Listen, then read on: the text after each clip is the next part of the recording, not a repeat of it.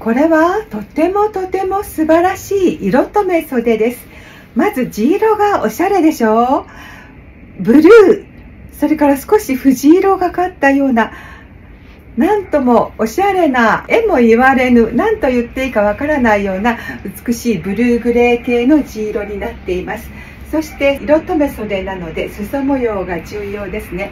裾模様がとっても美しいぼかしぼかしですね。ぼかしで糸目友禅で線上げと言いまして色が入っていない線だけで描かれている部分がたくさんあります。波の柄雲の柄がたくさん描かれているんですね。これ上前ですね。これが こうなっていまして八掛です。そして手刺繍で松ですね。松のところに金の手刺繍が刺されています。色がそれだけなのですけれどもとてもとてもエレガントですね。色合いとそして柄複雑なんだけどすっきりして爽やかでエレガントで気品高いです。すごくおしゃれ。すごくおしゃれで高貴な感じがいたします。色留め袖ですから上半身に柄はございません。帯でものすごく変わりますね。帯が重要ですね。どんな帯を合わせましょうか。南蛮線の帯なんですね。ですからこのお着物に合わせなくても良いのですがこの帯も合いますね。この南蛮線の帯すごいんですよ。これ全部本金箔です。本金箔を使っていまして前の部分がこんな風になるのでとてもおしゃれですね。おしゃれですね。帯が主役になりますね。帯のこのブルーのところが生きてきますね。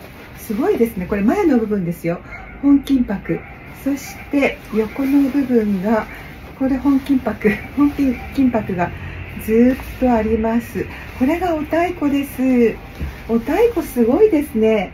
宝船南蛮線がこのようになっていますので年齢に関係なく締めていただけますね。この絵のところに金箔はほとんどないのですね。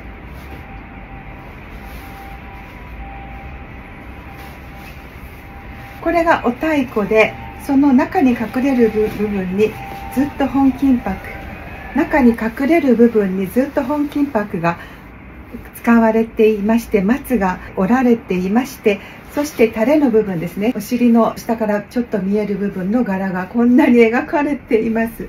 なんて豪華なんて豪華なんでしょうか。ですからお太鼓はですね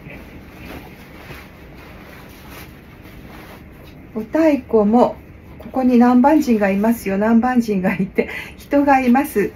繊細に細かく丁寧に折られています。折りでこれを表現するってものすごく大変です。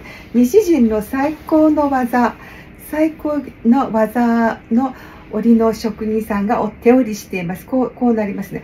これがお太鼓になります。年齢関係なく締めていただけますよ。お嫁入りのお嬢様そしてお母様お二人で締めていただける南蛮線の本金の帯になります。素晴らしいですね。このお着物と色がとてもよく合うなぁと思います。こうなりますね。すごく合いますね。合いますね。そして他の帯もこのお着物にはとてもよく合うんですよ。この帯も素晴らしいでしょう。これも素晴らしい帯なんです。通りの本袋帯です。全部本袋帯ですよ。お太鼓がこのようになりますね。紫がおしゃれですね。このお着物の色はどんな色も素敵に見せてくれますね。そしてこうなります。これもいいですね。これもおしゃれですね。この紫が嬉しいですね。はい緑系の帯締めなど合いますね。あこれが本袋帯。紫の帯です。この帯はもう留め袖に最適でな帯ですね。これ本本金箔です。本金箔です。もう本袋の本金箔の帯になります。まあ素敵まあ素敵。色留め袖にぴったり。黒留め袖にも合いますし袋帯にも合いますよね。松の柄です。はい。これはこのようになりますしそれから前の部分はこのようになるんですね。